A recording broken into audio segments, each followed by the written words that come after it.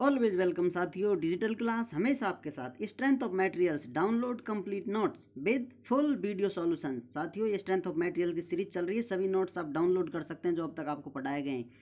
यदि आपका कोई कंपटीशन से रिलेटेड डाउट है तो आप हमसे कांटेक्ट कर सकते हैं। कांटेक्ट लिंक आपको वीडियो डिस्क्रिप्शन में मिल जाएगी साथियों। वहाँ से आप कांटेक्ट कर सकते हैं। यदि आपका कोई इस कंटेंट से रिलेटेड सुझाव है तो आप हमें सजेशन दे सकते हैं। साथियों, हम कोशिश करेंगे अपने आप को अपडेट करने की।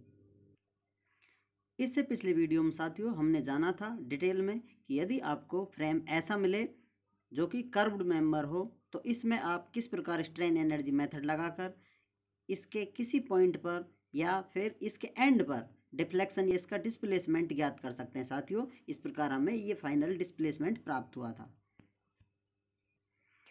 हाँ तो मेरे महान योद्धाओं, शोर मचाइए। आप इस तकनीक के अंतिम पड़ाव पर आ पहुँचे हैं। आप सब बहुत ही बेहतरीन कर पाए हैं। अब तक यदि यहाँ तक आप पहुँचे हैं तो सब कुछ ठीक ठाक चल रहा है। इस रणनीति का ये अंतिम पड़ाव है साथियों तो आप शोर मचा सकते हैं। A triangular shaped cantilever beam. Page है 169 डीसी, डिजिटल क्लास। साथियों, यदि आपको इस प्रकार की बीम मिले, जैसा आप देख रहे हैं, ये साइड व्यू है इसका। इस प्रकार एक एंड फिक्स है इसका और दूसरा एंड फ्री है। ये कैंटिलेवर बीम है। ये साइड व्यू है साथियों इसका, इसकी थिकनेस टी है बीम की लेंथ एल है, इस प्रकार आप देख सकते हैं पी इस पर लोडिंग लगी हुई है। अब इसका आप साइड व्यू देखेंगे साथियों, ये साइड व्यू तो ये है इसका फ्रंट व्यू यदि आप इसको इधर से देखेंगे साथियों तो आपको इस तरह नज़र आएगी। इसकी ट्राइंगल शेप की बीम है साथियों, आप देख सकते हैं, ये अपन को बीम नज़र आ रही है। जो ये बीम है साथियों, ये इसका टॉप व्यू है। ऊपर से इसे आप इस तरह देखेंगे तो आपको इस तरह नज़र आएगी। ये इसका फ्रंट व्यू हो गया है।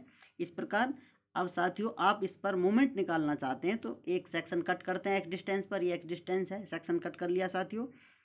अब ये क्वेश्चन मार्क लगा हुआ है इसकी, हाइट या विड्थ कितनी होगी साथियों? ये एंड बी है इसका।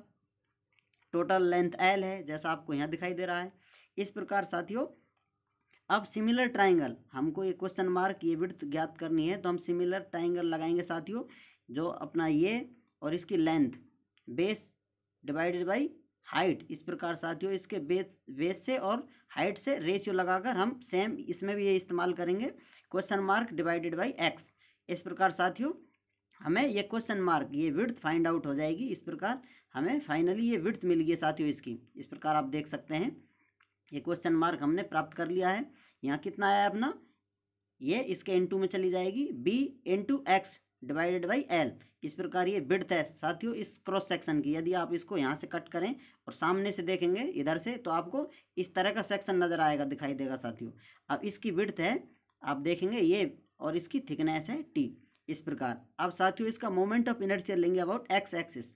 इस प्रकार यदि आप एक्स एक्सिस के अबाउट इसका मोमेंट ऑफ़ इनर्शियल लेंगे, जैसा कि हम जानते हैं, b d q divided by twelve होता है रेक्टेंगल का, मोमेंट ऑफ़ इनर्शिया, जो भुजा कटती है, जो साइड कटती है साथ ही उसका क्यू होता है। इस प्रकार यहाँ टी क्यू हो गया है। बाकी ये सेम भुजा है डिवाइडेड बाई ट्वेल्व इस प्रकार मोमेंट ऑफ़ इनर्शिया इसका आपने प्राप्त कर लिया है।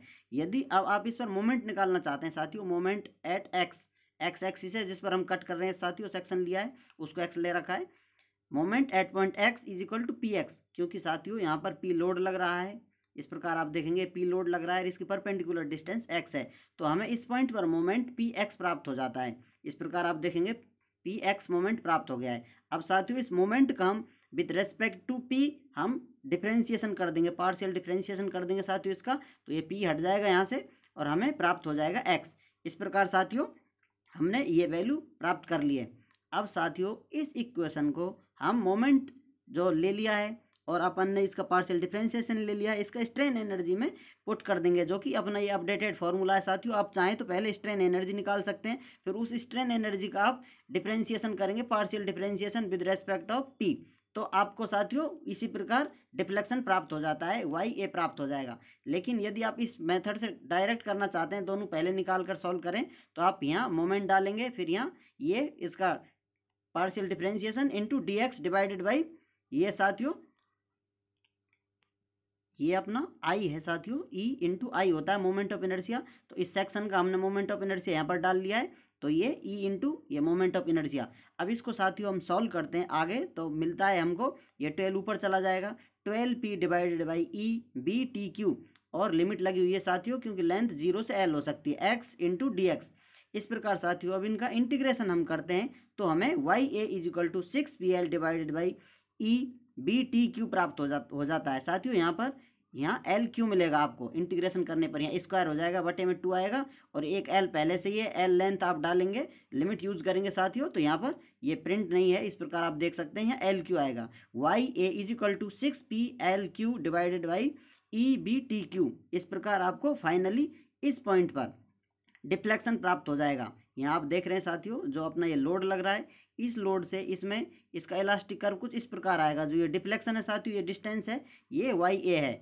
डिफ्लेक्शन ऑफ़ पॉइंट ए इस प्रकार आप इसे देख सकते हैं, जो कि हमने प्राप्त कर लिया साथियों। Y a is equal to six p l q divided by e b t q हम तुम किसी मंजिल पर जा रहे हैं और आप रास्ता भूल जाएँ। सोचो, कभी ऐसा हो तो क्या हो? क्या हो? डिजिटल क्लास से कांटेक्ट हो। यदि आपका कोई भी इससे रिलेटेड कन्फ्यूज़न है तो आप हमसे कमेंट कर कर पूछ सकते हैं। साथियों, आप चाहें तो कांटेक्ट कर सकते हैं। इस भीषण जंग के मैदान में आपका पैर जमा कर हमारे साथ डटे रहना, साथियों। इसके लिए हम आपके लिए बहुत बहुत धन्यवाद देते हैं। आपका सामर्थ्य, साथियों काबिल तारीफ़ है। वीडियो को अंत तक देखने के लिए, चैनल को सपोर्ट करने के लिए आपका बहुत बहुत धन्यवाद।